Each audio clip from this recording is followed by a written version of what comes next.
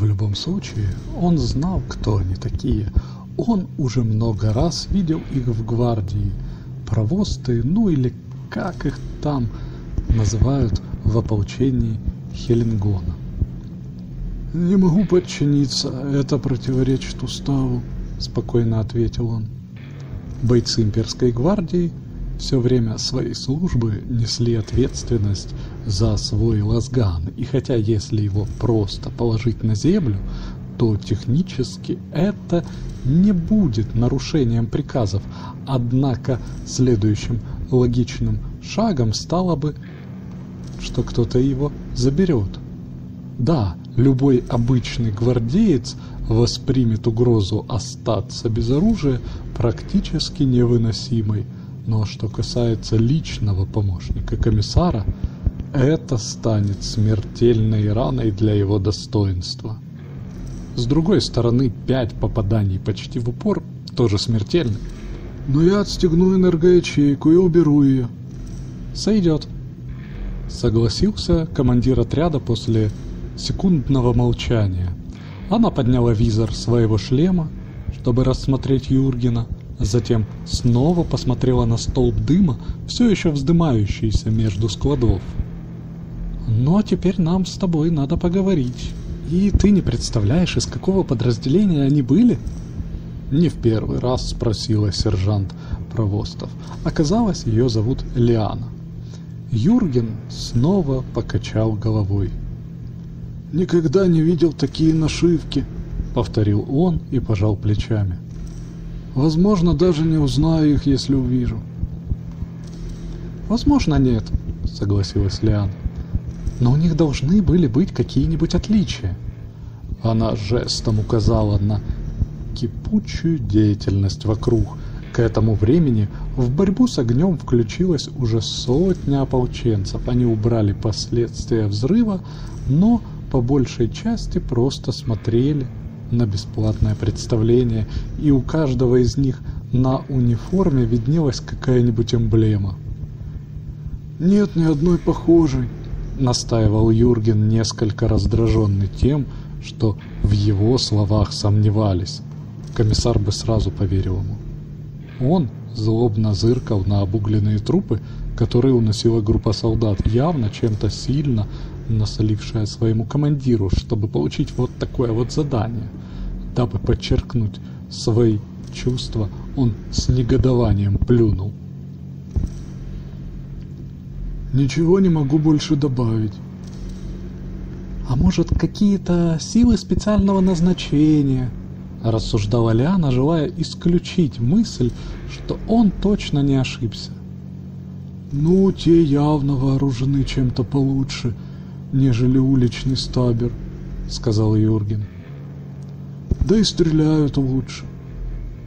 «М -м, «Хорошая мысль», — заключила провост к тихому и удовлетворенному удивлению Юргена. Она повернулась к сержанту Мерсеру, который обеспокоенно ошивался рядом с инфопланшетом в руках. Отследили лазган, которым был вооружен один из них? Мерсер кивнул и выглядел при этом несчастным. Мы умудрились найти серийный номер. Сначала мы думали, что металл оплавился, но тело он сглотнул, и бледность его лица приобрела другой оттенок. Что осталось от него упало сверху. Ну и защитило его. «Ну так кому он принадлежал?» — спросила Лиана. «А «В том-то и дело, никому». Мерсер так сжимал свой инфопланшет, словно хотел сломать пальцами. Он все еще числится на складском учете. Так, значит, его украли, ответила Лиана, и Мерсер грустно кивнул. Похоже на то. Тогда нужно узнать, кто его спер, настаивала Лиана. Если мы найдем, что именно пропало, то сможем вычислить, кто виноват. Я начну инвентаризацию сказал Мерсер. «Можем начать с вас», предложила Лиана, оценивающе глядя на крупного сержанта. Мерсер возмущенно вспыхнул. «Мои записи в порядке, все, что в картотеке, на полках», — отрезал он. Он взглянул на Юргена, ища подтверждение. «Он вам расскажет?» Юрген кивнул. «Все совпадало», — согласился он. Он тыкнул пальцем в сторону последнего трупа. Его тащили на брезенте потеющие и матерящиеся бойцы. Тело оставляло за собой слабый след из пепла и лоскутов обугленного мяса. А на вашем месте я бы провел перекличку. Возможно, пропавшие бойцы — это они. «Хорошая мысль», — заключила Лиана. «Мы сможем отследить их контакты. Не впервой квартирмейстер сплавляет материальные запасы на черный рынок». «Ну тогда я оставлю вас». Юрген закинул за плечо лазган и отвернулся. «Мне тут больше делать нечего. «А может быть, вам остаться?» — спешно спросил Мерсер. Удивленный Юрген развернулся.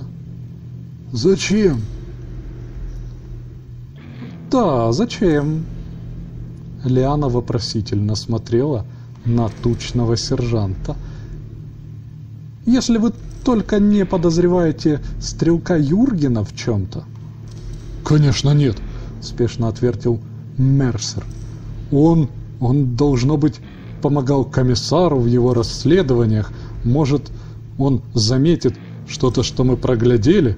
«Может быть», — через секунду размышлений отозвалась Лиана и развернулась к Юргену. «Вы поможете?» «Не знаю. Стоит попробовать. Полагаю, если это только будет недолго». Юрген пожал плечами. По правде говоря, его участие в расследованиях обычно ограничивалось бумажной работой и отстрелом редких предателей, которых разоблачали, но предложение взывало к его чувству долга, и он считал себя морально обязанным согласиться. Этого бы пожелал и комиссар Каин, в этом он не сомневался. «Тогда хорошо», — ответила Лиана, глядя то на одного мужчину, то на другого, и размышляя, не пойдет ли ее карьера от такого решения под откос. «Полагаю, начнем. Что значит «никто не пропал»?» — спросила Лиана, вручая инфопланшет обратно провосту, который принес его в ее офис. Маленькая кабинка на западе от бараков ополчения, которая оказалась тесной даже для одного человека а в данный момент там находилось трое. Юрген сидел в углу рядом с окном, которое Лиана распахнула настолько широко, насколько могла. Впрочем, сам Юрген не возражал, поскольку оттуда открывался отличный вид настроения ополчений и город дальше, откуда изредка доносились выстрелы ручного оружия. Повстанцы предприняли организованную попытку закрепиться в южном квадранте, а имперская гвардия с таким же решительным намерением желала выбить их оттуда и показать ополчению, как переломить почти годичное безвыходное противостояние в течение дней. «Я имею в виду, всех пересчитали, мэм!» — отозвался провоз и отошел. На взгляд Юргена слишком уж стремительно. Кто-то играет с нами в игры и получит очень серьезно, что прикрывает их, произнес Юрген.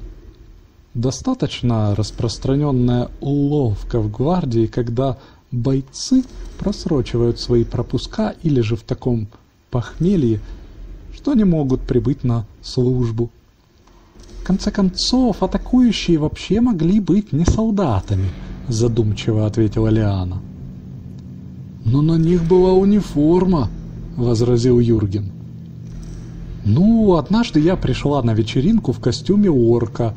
Это же не делает меня зеленокожим», — остроумно ответила Лиан. Юрген кивнул. Он видел, что так делал комиссар, когда раздумывал над неочевидным объяснением и решил поразмыслить, куда она клонит. «Вы имеете в виду, что кто-то притворялся бойцом ополчения?» Наконец-то произнес он, разумно предположив, что до него наконец-то дошло. «Это верно», — сказала Лиана, глядя на него чуточку странно. Использовали ворованную форму, чтобы пробраться на базу. Это показалось Юргену разумным. Если они могли спереть оружие, то могли с такой же легкостью украсть униформу. «Я бы на их месте заложил бы подрывные заряды в оружейную, как только закончил там», — добавил он. «Это первое, что мы проверили, поверьте мне. Там ничего нет», — уверила его Лиана. Помятуя о том, что он гость в ее офисе, Юрген сплюнул в окно, не позволил струйке слюны капнуть на пол.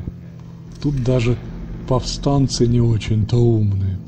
Даже если Лиана осознала, что это была не очень-то замаскированная критика местных сил правопорядка, то у нее хватило так-то не обращать на это внимания. Вместо этого она задумалась. Если бы повстанцы проникли на базу и сперли оружие, они определенно устроили бы саботаж, чтобы мы не могли воспользоваться оставшимся. Юрген нахмурился. «Тогда кто остается?» «Полагаю, только бандиты. Тут их полно. Делят между собой территорию, пока война слишком донимает нас, чтобы мы обратили внимание на них и приструнили». Анна подняла взгляд, когда в офис вошел Мерсер. «Есть новости?» «Вот что я вам скажу. В записях полный бардак, избыточные запасы, пропажи. Про половину материальных запасов вообще написали чушь», — ответил Мерсер. «Значит, ничего в жизни этой не меняется. Ваши записи единственные, которые велись совершенно правильно». Юрген снова пожал плечами. Мерсер вспыхнул. «Мне нравится уделять внимание деталям». «Я заметил», — ответил Юрген. Он взглянул на хронограф и встал. «Мне нужно возвращаться. Если я чем-то могу помочь, свяжитесь с офисом комиссара». «Конечно». Лиана тоже встала, протянула была руку, затем спешно ее убрала. Мы будем держать вас в курсе.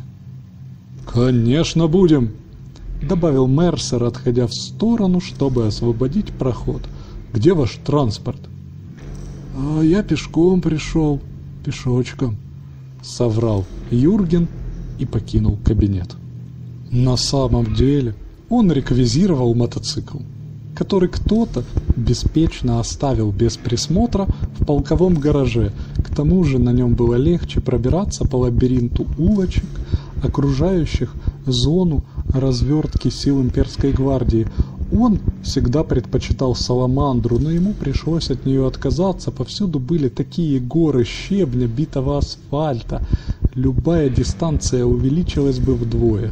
После того, как он оседлал механического скакуна, тот тут же завел его за поврежденную в бою химеру, которую уже энергично восстанавливала группа технопровидцев. Юрген чуть выждал. Как он и предполагал, из здания почти сразу же выскочила приметная фигура сержанта Мерсера и припустила куда-то бегом – если это можно было назвать бегом, учитывая его габариты, тучный офицер запрыгнул в кабину припаркованного грузовика, рядом с которым бездельничал солдат. Его нашивки были не видны. Боец запустил двигатель, пока товарищ вскарабкивался на сиденье рядом. Как только они оба оказались в кабине, Мерсер включил передачу, Грузовик огласил весь дворик таким ревом, словно за ним гнались все демоны варпа. Это было слишком легко. После небольшой беседы по Воксбусине Юрген пришпорил мотоцикл и пустился в погоню. Он держался сзади, выключив фары, несмотря на стремительно опускающуюся ночь, и отслеживал препятствия на дороге по прерывистым вспышкам стоп-сигналов грузовика. Риск быть замеченным был минимальный, он это знал. Внимание Мерсера было полностью приковано к дороге в поисках одинокого путника. Вскоре грузовик остановился на перекрестке.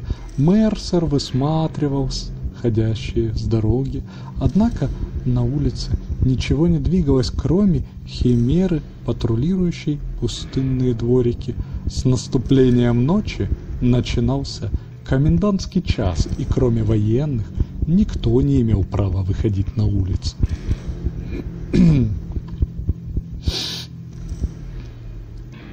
По крайней мере, никто из законопослушных граждан, но о них не стоило беспокоиться, никто не осмелится дважды взглянуть на военный грузовик. «Где он?» – закричал его компаньон, потирая лаз-пистолет, пропажу которого все еще не заметили вооружейный. «Ты же говорил, он пешком!» «Он не мог уйти так далеко!» – ответил Мерсер, все еще вертя головой из стороны в сторону. Если он выберет неправильное направление, гвардеец в целости и сохранности вернется в распоряжение имперской гвардии и доложит комиссару до того, как они запутают следы и исправят допущенные ошибки. Но до того, как он смог определиться, какую дорогу выбрать, из тьмы за ним с ревом вылетел мотоцикл и остановился рядом с кабиной. Двигатель продолжал урчать. Мерсер опустил глаза и уперся взглядом в дуло лазгана. С другой стороны оружия виднелось до боли знакомое лицо. «Я думал, вы удираете», — спокойно заметил Юрген. «Но хотел удостовериться. Комиссар всегда хочет быть уверенным, прежде чем предъявить обвинение». «Обвинение в чем?» Неистовствовал Мерсер, оттягивая время. «Ну, для начала в попытке убить меня», — ответил Юрген, словно полностью попался на уловку. «Это же ты посылал тех фракоголовых за мной, да?» Вместо ответа Мерсер выжал педаль газа. Юрген долю секунды обдумывал продолжить погоню, затем вместо этого нажал на спусковой крючок лазгана. В любом случае тяжелый грузовик никак не мог уйти от мотоцикла, так что все равно игру можно было заканчивать сейчас. Буря лазерных разрядов искромсала шины грузовика, и с отстраненным интересом Юрген наблюдал, как машина сбилась с курса и врезалась в наполовину рухнувшую витрину магазина. Когда среди маленькой лавины рухнувших кирпичей все затихло, пинком открылась пассажирская дверь, откуда дико поля во все стороны выкатился псевдо-солдат. В меткости он не превосходил своих мертвых товарищей, и Юрген с легкостью уложил его, даже не потрудившись слезть с мотоцикла. Когда он перекинул ноги через седло и пошел к подбитому грузовику, паре метров от него с грохотом остановилась Химера. «А вы не очень-то торопились», — произнес Юрген, когда люк с лязгом откинулся. «Что я могу сказать? Пробки!» — ответила Лиана. Юргену это показалось странным. Насколько он видел, улицы все еще оставались пустынными. Она распахнула заднюю дверь грузовика и на треснутую мостовую — каскадом посыпались батончики рациона. Похоже, вы были правы. Конечно, был. Инвентаризационные списки никогда не совпадают с тем, что на самом деле находится на складе. Единственная причина, по которой они могли совпадать у Мерсера, это если он хотел что-то спрятать. Ляна кивнула. Как бы то ни было, еда сейчас на улицах на вес золота, даже дороже. Он и его дружки-бандиты должны были сколотить состояние. Она остановилась, чтобы гневно взглянуть на сержанта, которого не очень-то осторожно вытаскивали из покореженной кабины парочка провостов. Должно быть, он понял, что вы заметили что-то подозрительное и послал сообщников заставить вас молчать. «Я тоже так думаю», — согласился Юрген. «Хотя до сих пор не понимаю, зачем ему понадобилось, чтобы я здесь задержался». «Чтобы мы попытались еще раз, идиот!» — орал Мерсер. Его полуволокли, полутащили к Химере. Если бы ты рассказал комиссару, нас бы пришили. Рассказал комиссару? В самом искреннем недоумении повторил Юрген. И зачем мне беспокоить его такой мелочью, как воровство? Все тащат. В ответ Мерсер задвинул долгую, громкую и очень нелицеприятную тираду о генеалогическом древе Юргена. Юрген спокойно слушал пару секунд, затем прервал речь четко нацеленным ударом в лицо. «Тут же дамы!» – заявил он, хотя не сомневался, что на своей работе Лиана уже слышала достаточно ругательств, но кроме того он обижался на людей, которые пытались его убить. «Нам нужны будут показания», через несколько секунд произнесла Лиана.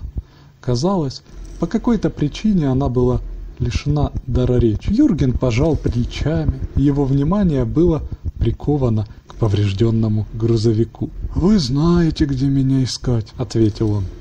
В конце концов, в его полезных подсумках все еще можно было найти немножечко места, да и на заимствованном мотоцикле висели просторные переметные сумки.